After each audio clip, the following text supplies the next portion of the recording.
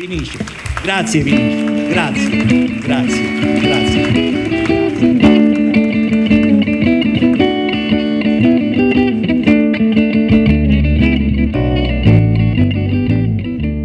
Quindi io credo che la lotta insomma, sul, sul, sul, bene pubblico è una lotta che non ci viene facile perché è sempre più facile eh, tutelare il proprio piccolo tornaconto. No? Bisogna pensare un po' più in grande per capire che se anche spendiamo qualcosa di più eh, costruendo una casa per avere un sistema di acque differenziate per cui l'acqua potabile e l'acqua potabile ne abbiamo bisogno e ha un costo perché deve essere depurato tutto quanto, ma tutte le acque che servono per esempio per gli usi domestici, le, le cose possono, hanno un altro tipo di costo e di trattamento e in altri paesi per esempio vengono separate. Questa una, eh, sarebbe una una norma civile che, che, basterebbe introdurre, certamente la gente sarebbe scontenta perché dovrebbe pagare qualcosa in più sul momento, ma poi magari con una corretta politica dei prezzi sicuramente pagherebbe poi meno quell'acqua che usa poi per, eh, per scopi sono, per cui non serve l'acqua potabile. No?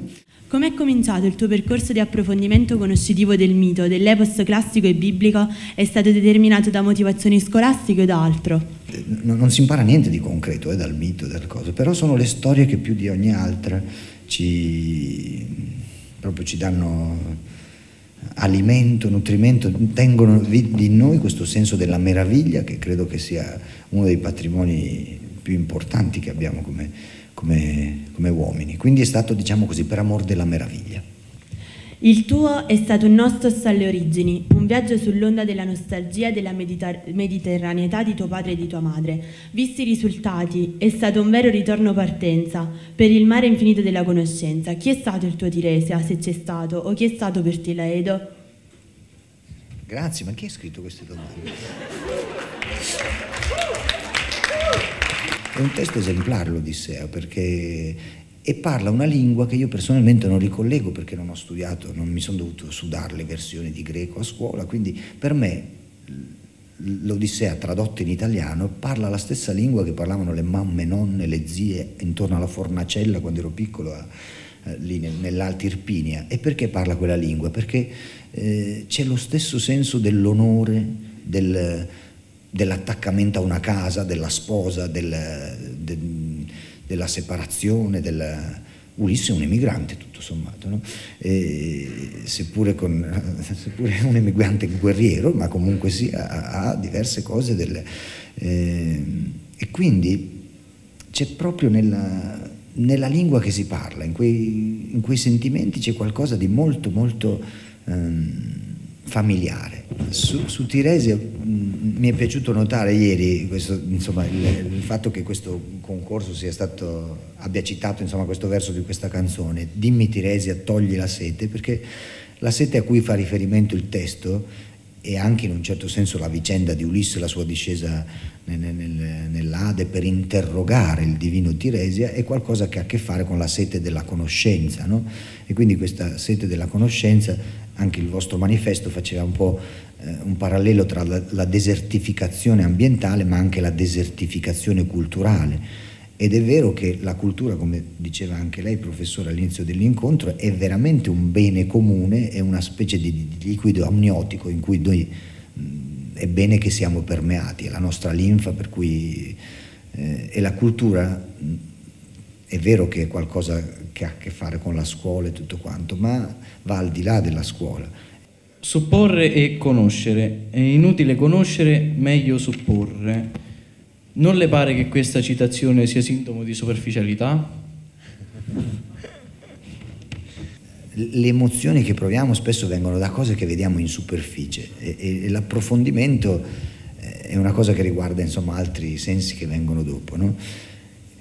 Io in questa frase intendevo privilegiare più l'emozione rispetto alla alla padronanza, eh, alla conoscenza nel senso di, di, di smascherare le cose. No? Per quale motivo si sente così legato all'ambiente?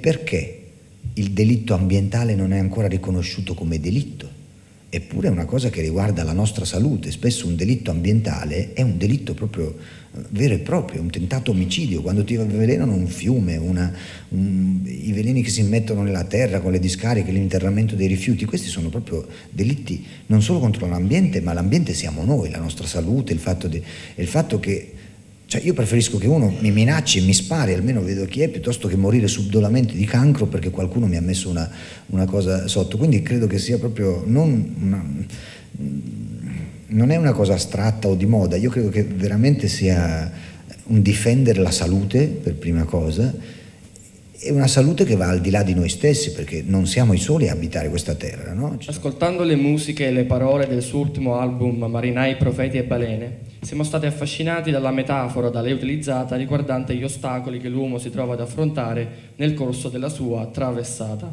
Quali sono per lei queste enormi onde da dover superare? Intanto l'onda più grossa che poniamo tra noi e il mondo è questa onda, questa specie di, di, di involucro, no?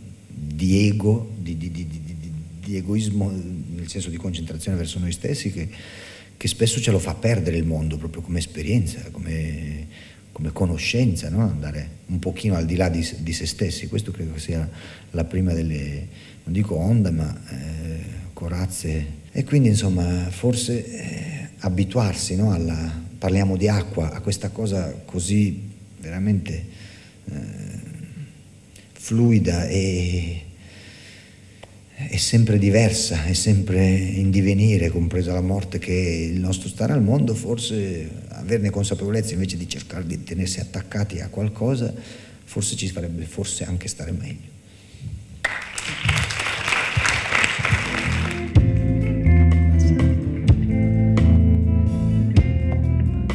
Vedo con piacere che questa moneta bellissimo gallo con una cuta, acuta molto, molto pronunciata che me lo fa sentire particolarmente vicino. Grazie, scusate questa intermissione culinaria.